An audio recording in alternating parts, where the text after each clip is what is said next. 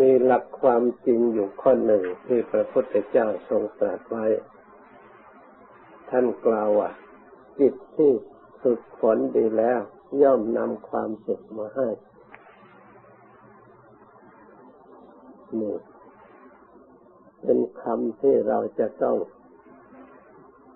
น้อมนึกระลึก พุทธภาสิตคนนี้ที่พระองค์ทรงตรัส เป็นจัจจะวาจาเป็นความจริง เราจะต้องพิจารณาให้รู้ความจริงข้อนี้ ให้จิตของเรารับรอง ให้เห็นประจักษ์ในจิตให้จิตของเรามีศรัทธาความเชื่อความเริ่มใส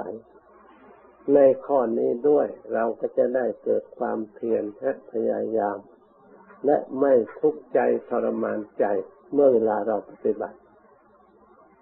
เราปฏิบัติไม่รู้ความจริงจากแต่ว่าทำเลยมันทุกข์มันทรมานจริงๆแต่ถ้าเรารู้ความจริงแล้ว การปฏิบัติของเราแม้จะจะนั่งนานเท่าไหร่ก็ไม่ทุกข์ไม่ทรมานเลย เพราะเหตุใดเพราะจิตมันมองเห็นความสุขที่จะเกิดขึ้น ถึงแม้ว่าจะได้รับความกระทบกระเทือนอดทนต้องความเพียรในปัจจุบันก็ตาม แต่มันไม่ได้ทุกข์เพราะความเพียรไม่ได้ทุกข์เพราะความพยายามเพราะเหตุใด เพราะมันมองเห็นความสุขมองเห็นความดี มีศรัทธาความเชื่อ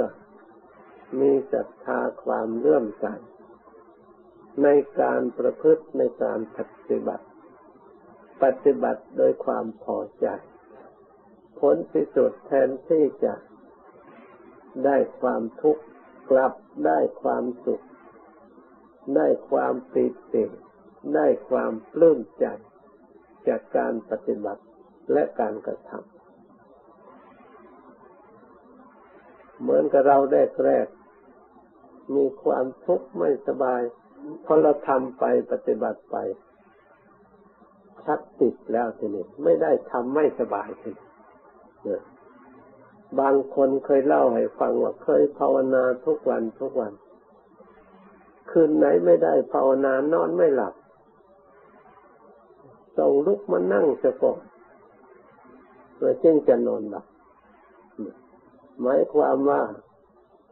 จิตใจมันน้อมไป มันเห็นประโยชน์เห็นอำนาจ เห็นความสุขเห็นความผ่องใสเบิกบานในจิตในใจที่ได้ประพฤติได้ปฏิบัติ ได้ฝึกหัดและได้อบรม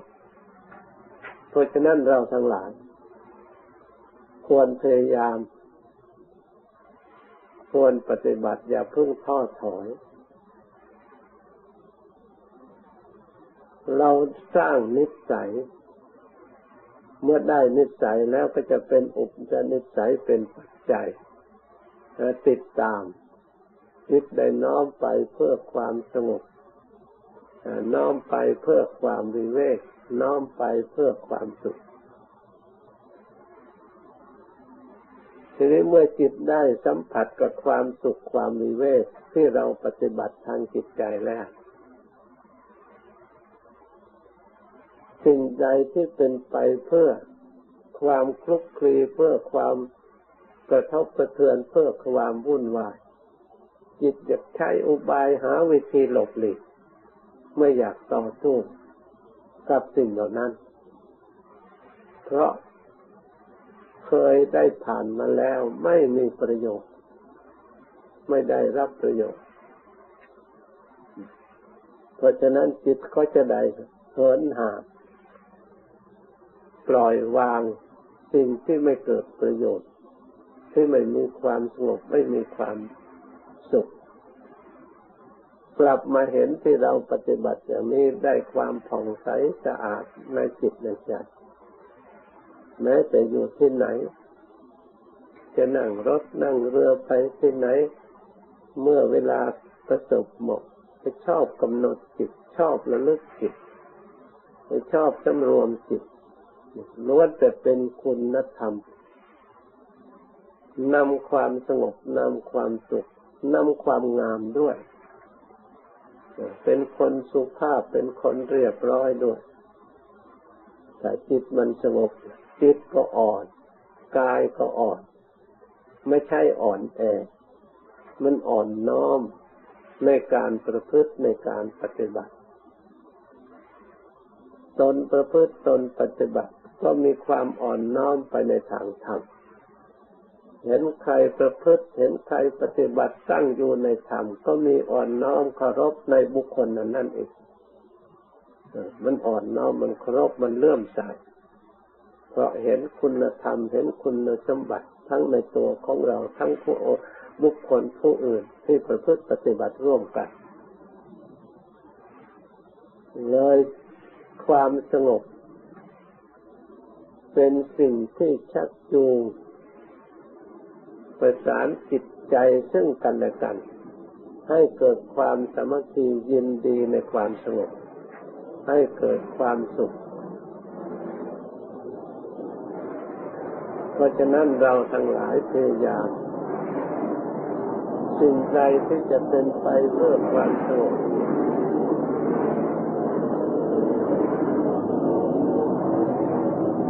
เราก็จะต้องปฏิบัติ ต่อสิ่งนั้นนั้นถึงแม้ว่าจะได้รับความไม่สบายในเบื้องต้นก็ตาม แต่เราเห็นความสุขประโยชน์ที่บังเกิดขึ้นแก่ตัวของเราเองเราก็ควรจะกระทำควรจะปฏิบัติ เหมือนกับเราเชื่อในการพยาบาลของหมอที่เขาตรวจพบเชื้อโรคแล้วว่าโรคนี้จะต้องผ่าตัด ใครๆก็ไม่ต้องการเสียเลือดเสียเป็นแผลแต่จะต้องรักษาอันนี้เป็นส่วนทุกข์ส่วนไม่ไม่ปรารถนา แต่ถ้าเราไม่ทำอย่างนั้นโรคของเราก็จะไม่มีทางที่จะหายที่จะปกติ เราก็ไม่มีช่องทางที่จะได้รับความสุข แต่เรามองเห็นว่าเมื่อหมอก็พาเอาสิ่งเหล่านั้นออกแล้วรักษาพยาบาลดีแล้วเราหวังความสุขในข้างหน้าต่อไปอีก เราทนทุกข์ชั่วระยะหนึ่งแต่ได้ความสุขระยะยาวเราก็ต้องลงทุนให้เขาผ่าเขาตัด แม้จะฉีดยาสลบก็ยอม เพราะมองเห็นประโยชน์คือความสุขในภายภาคข้างหน้าเรื่องนี้องค์สมเด็จพระสัมมาสัมพุทธเจ้าของเรา พระองค์ก็ทรงเห็นอำนาจประโยชน์ความสงบและความสุขเมื่องานของพระองค์สำเร็จ เพราะฉะนั้นพระองค์จึงลงทุนต่อสู้ถึงแม้ว่าจะทุกข์จะได้รับความทรมานก็พยายาม เพื่อให้เกิด ความขันติธรรมคือความอดทน ให้เกิดวิริยะธรรมคือความเพียร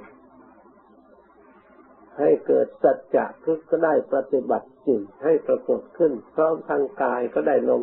ปฏิบัติจริงๆวาจาของพระองค์ก็ได้สำรวมปฏิบัติจริงตลอดถึงจิตใจพระองค์ก็ได้ละได้เพียรพยายามปฏิบัติจริงๆ เพราะฉะนั้นสิ่งเหล่านั้นล้วนจะกลับกลายมาเป็นปรมีธรรมของพระองค์ ให้พระองค์ได้บรรลุธรรมรู้ธรรมเห็นธรรมแจ้งประจักษ์ด้วยปรมีธรรม เราทั้งหลายก็เคยได้ยินได้ฟัง เป็นต้นว่าทานนับปรมีที่พระองค์ได้บริจาคได้เสียสละ พระองค์ไม่ได้สอนจะให้เรา ทำบุญให้ทานแล้วพระองค์ก็คอยรับแต่ทานของพวกเราอย่างเดียว พระองค์ได้ทำมาแล้วเห็นประโยชน์มาแล้ว พระองค์สละยิ่งใหญ่กว่าพวกเราอีก สละการเสียสละการเป็นใหญ่พร้อมไปด้วยยศพร้อมไปด้วยลาภพร้อมไปด้วยการเสริมพร้อมไปด้วยความสุข พร้อมไปด้วยบริวารสมบัติตลอดถึงทรัพย์สมบัติ ระองค์เสียสละไม่ห่วงใยอะไรเลยการเสียสละของพระองค์นี่นะทำให้ชนะมารชนิดหนึ่งที่จะมาครอบงำคือความโลภคือความรักใคร่พอใจในรูปในเสียงในกลิ่นในรสลงไหลในสิ่งเหล่านี้ทำให้พระองค์ชนะหมดไม่ว่ากิเลสภายนอก ไม่ว่ากิเลสภายในจิตใจ พระองค์ชำระหมด เกลี้ยงสะอาดบริสุทธิ์ แล้วก็พระองค์ยังไปพยายามฝึกฝนให้มีคุณธรรมเรียกว่าขันติธรรมวิริยะธรรมอดทนเที่ยวฉันมือเดียวแล้วก็พยายามหิวโหยต่อเอาสมาธิเอาความสุขในทางสงบไม่เอาความสุขในทางอาหาร พระองค์เคยเสวยพระกยาหารเป็นนิดบรรจงมาทุกอย่างที่เขาตกแต่งไปแล้ว พระองค์ไม่มองเห็นความสุข ยิ่งหลงยิ่งมัวเมาหนักไปเพิ่มขึ้นต่อไปอีกพระองค์เคยนอนในที่นอนอันประณีตบรรจงที่เขาทำมาด้วยดี ก็ไม่เห็นได้สติได้ปัญญาได้ความสงบได้ความสุขไมีแต่สิ่งก่อควรอยู่ตลอดไป ไม่ได้ทำให้จิตใจนั้น เบาขึ้นมาเลยมีแต่หนักหน้าไปปัญหาร้อยแปดพระองค์จึงเป็นสละทิ้งอันที่นอนที่ก็ถือว่าสะดวกสบายมีความสุขพระองค์ไปนอนอยู่ในป่าในเขาเครื่องนุ่งเครื่องห่มปลกแต่งยังดีอย่างสะดวกสบาย พระองค์ก็สละทิ้งเครื่องประดับตกแต่งเหล่านั้น มานุ่งผ้าย้อมฝาด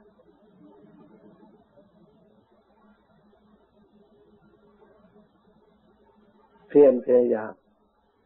ถ้าเรามองดูโดยตาโลกแล้วพระองค์ไม่มีความสุข แต่ทำไมพระองค์ว่าพระองค์มีความสุขยิ่งกว่าในการใด ๆ ยิ่งกว่าในเวลาใด ๆ ที่พระองค์ไปอยู่ป่า นั่งอยู่ในร่มไม้ไม่มีสิ่งของสิปนิบรรจงตกแต่งให้พระองค์เลยอยู่โดยธรรมชาติ กลับพระองค์ได้ความสุข คือไม่ใช่สุขร่างกายแต่สุขทางจิตใจ เมื่อพระองค์อบรมจิตใจให้ได้ความสุขแล้วร่างกายก็ปล่อยได้ความสุข จะนั่งจะนอนอยู่อย่างไรก็ได้ความสุข จะบริโภคอย่างไรก็มีความสุข เพราะเหตุนั้น พระองค์จึงได้เผยแพร่ประกาศพระศาสนามีผู้มีศรัทธาในประพฤติปฏิบัติก็ได้เห็น ชอบโดยได้รับความสุขตามที่พระองค์กล่าว มาถูกต้องทุกประการ จึงมีผู้เสียสละประพฤติปฏิบัติตามพระองค์เป็นจำนวนมากรับรองแต่เป็นพระศาสดาคำสอนของพระองค์ เรียกว่าพระศาสนาที่พระองค์สอนพาประพฤติปฏิบัติเป็นถึงเราเราทั้งหลายแม้แต่เรา ฝึกหัดอบรมไม่ได้ละเต็มที่ถึงเต็มที่เรายังก็พอมองเห็นความสุขมองเห็นความดีที่การเราทั้งหลายได้มาฝึกมาอบรม เป็นเหตุให้เรามีศรัทธาได้ทำมาต่อเนื่องกันตามระดับ ถ้าหากเราทั้งหลายเอาชนะกิเลสบางส่วนที่มีอยู่ในจิตใจของเราให้ราบคาบ ให้ได้ความสงบหมดจดที่แท้จริง เราจะได้ความสุขเพียงแค่นั้นคำทุกข์ว่าทุกทุกนั้นไม่ใช่ทุกเพราะคนนั้นทุกเพราะคนนี้แต่ทุกเพราะลูกทุกเพราะสามีเพราะภรรยาเพราะการเพราะงานเพราะสิ่งนั้นไม่ใช่ทั้งนั้น เราพูดอ้อมทั้งนั้น ทุกที่แท้จริงเพราะจิตของเรา ยังไม่หมดจดบริสุทธิ์สิ้นเชิง เรายังแก้ไขปัญหาในจิตใจของเราไม่ได้ เราก็เลยไปเอาสิ่งอื่นมาพัวพันเข้ามาด้วย ถ้าเราเข้าใจในปัญหาจิตใจของเราอย่างถูกต้องแล้วนอกนั้นไม่มีปัญหาเลยเหมือนกับพระองค์มาแก้ถูกต้องแล้วไม่มีปัญหาอริยสงสาวกท่านมาแก้จิตใจของท่านเท่านั้น ถูกต้องแล้วไม่มีปัญหาเลยไม่มีทุกข์ ไม่มียากไม่มีลำบากก็อยู่ในโลกอันเดียวกัน ความวุ่นวายของโลกความเบียดเบียนของโลก การประพฤติชั่วของมนุษย์ก็ยังมีอยู่อย่างนั้นตั้งแต่ไหนแต่ไรมาฆ่าฟันดันแทงกันทำสงครามเบียดเบียนซึ่งกันและกัน ร้องห่มร้องไห้โรคภัยไข้เจ็บ โรคระบาดขึ้น มีตั้งแต่ไหนแต่ไรมาเกิดแก่เจ็บตายไม่ใช่เพิ่งมีมาเดี๋ยวนี้ พระองค์ก็เกิดอยู่ในท่ามกลางแห่งความเกิดแก่เจ็บตายของผลโลก ในความวุ่นวาย แต่ทำไมพระองค์ไม่วุ่นวาย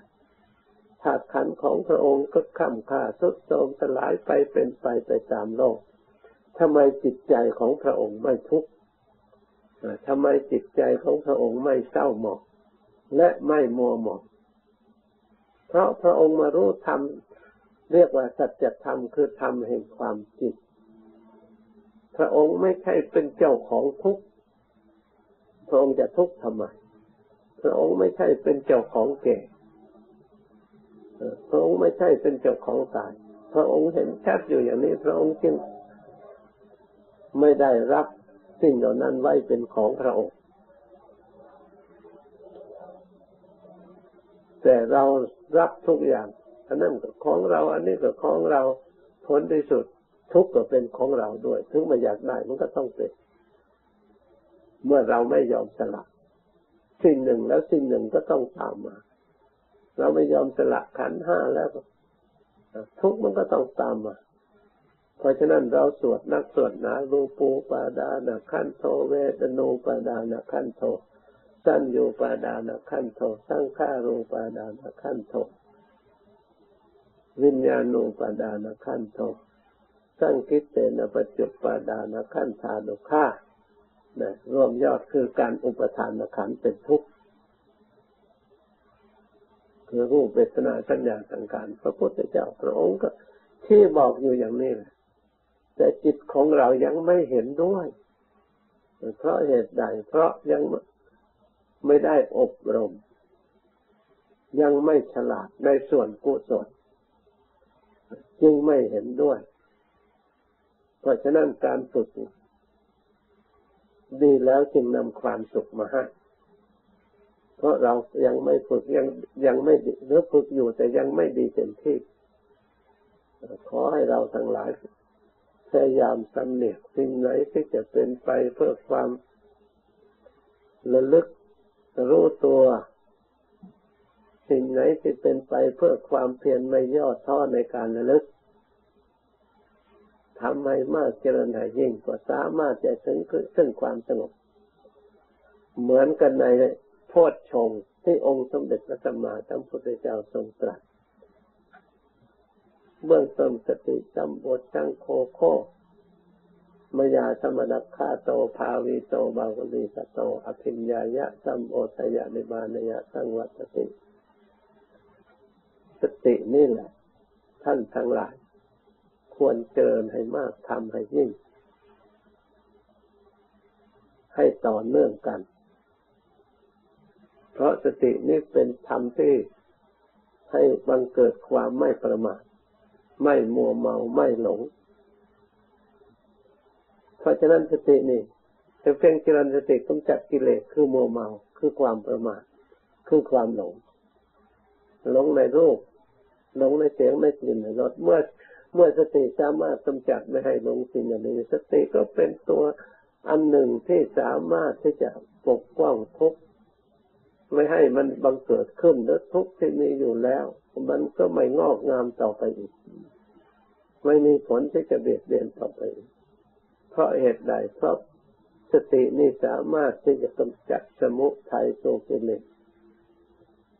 ให้หลงอยากโดยอำนาจแห่งความมัวเมาระลึกไม่ได้ สิ่งเหล่านั้นครอบงำปกปิดนะ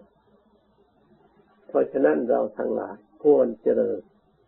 อภิญญายะ ถ้าเราเจริญธรรมในสมบูรณ์ให้เกิดอภิญญา รู้ธรรมตามความเป็นจริงในอริยสัจธรรมหรือในมรรคธรรมในผลธรรม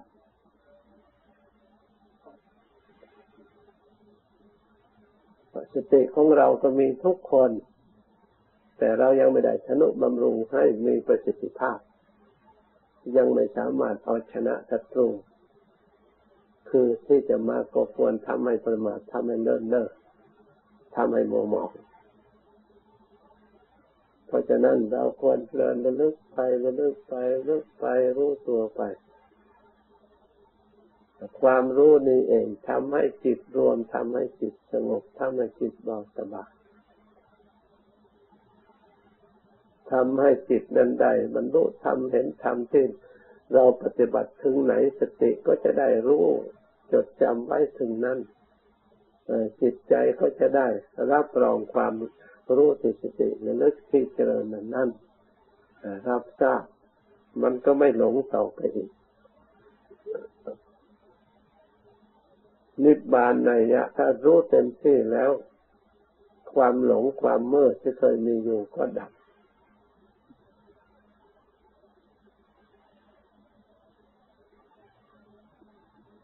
เมื่อทุกดับแล้ว อะไรที่เหลืออยู่ เมื่อไม่มีทุกข์ล้วเหมือนกับในบ้านของเรา เข้ามาอบอ้าวร้อนเมื่อเราเปิดแอร์เย็นขึ้นมาละเมื่อความร้อนมันดับไปแล้วอะไรมันเหลืออยู่เราไม่พูดก็ได้ นี่เหมือนกันถ้าเราพยายามปล่อยวางไม่ยึดถือทุกข์ระลึกพุทโธพุทโธไม่ให้มันมีทุกข์ในใจ อะไรจะเกิดขึ้นในใจของเรา เราไม่ต้องตินั่นไม่ต้องโทษสิ่งนี้สิ่งนั้นเพียงแต่เรามาสร้างสติรู้ลึกรู้ตัวเลยบริกรรมทำภาวนาไปเรื่อยๆไม่สนใจ จะเสนออย่างอื่นเข้ามาเราไม่เอาใจใส่จะเสนอความเจ็บความปวด ถ้าเราสติไม่พออุบายไม่พอ ก็คิดขึ้นมากลัวจะเป็นโรคเลือดชากลัวจะเป็นอย่างนอนกลัวจะเป็นอย่างนี้มันหลอกเราพระพุทธเจ้าไม่ได้สอนให้เราเป็นทุกข์หรือเป็นเวรเป็นภัยเป็นโรคยิ่งสงบไปเท่าไหร่ยิ่งมีความสุขเพราะพระองค์ได้ปฏิบัติมาแล้ว ถ้าเป็นอย่างนั้นจริงพระองค์ก็เป็นไปแล้ว พระองค์นั่งมาตรัสรู้ใหม่ ๆ พระองค์นั่ง ไม่กระดุกกระเดกไม่ลุกไปบินสมาธิไม่ไปไหนโยเจ็ดวัน พระอริยะทั้งหลายเข้าฌานในรถสมาบัติอยู่เจ็ดวันเจ็ดวันเข้าน้ำอาหารอะไรไม่ได้ถึงท้องเลย ไม่เห็นท่านเป็นโรค เพราะความอดเพราะเพราะความ นั่งเพราะนี่ท่านยิ่งมีบิดินในบิดินมหาถามทำไมพระอริยะเจ้าชอบเข้าในโรสมาบัติท่านว่าเป็นที่พักผ่อน เพื่อต่ออายุกำลังอายุต่อไปอีกแ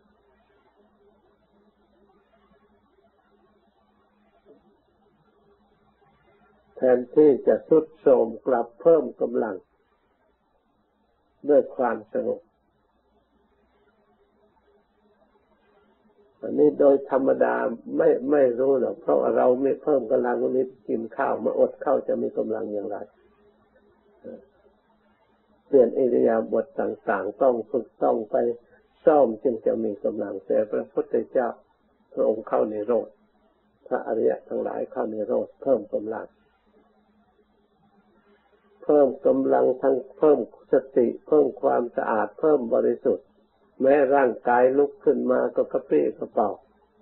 ไม่หิวโหย ตลอดถึงเพิ่มกำลังทายกทายกาผู้ได้ทำบุญให้ทานมีอนิสงส์มากอีกด้วยทรงครอบอนุเคราะห์ประชาชนผลโลก เพื่อจะได้ทำบุญให้ทานโดยผู้บริสุทธิ์ออกจากในโรคสมาบัติ ได้อานิสงส์มากทีเดียว ท่านว่าได้ทิฏฐะทำนิกัตะในปัจจุบัน ได้อันในสงในปัจจุบันปรารถนาสิ่งใดก็ได้สำเร็จ เพราะเหตุนั้นเราทั้งหลายอย่าให้สิ่งเหล่านั้นหลอกคือเรียกว่าสิเลสว่าหลอก ถ้าเราจะทำก็ทำจริงๆ ถึงแม้ว่าจะเจ็บปวดเป็นอย่างไร พระพุทธเจ้าทรงตรัสว่า สัตว์ทั้งหลายเป็นไปตามกรรม บุคคลจะมีความสุขมีอายุยืนก็เพราะกรรมได้กระทำไปแล้ว ถ้ากรรมนั้นยังไม่ให้ผลใครจะทำอย่างไรก็ไม่ได้ ใครจะเบียดเบียนไม่ได้ มีพระเถระพระอาหารหันต์องค์หนึ่งชื่อพระภากุละ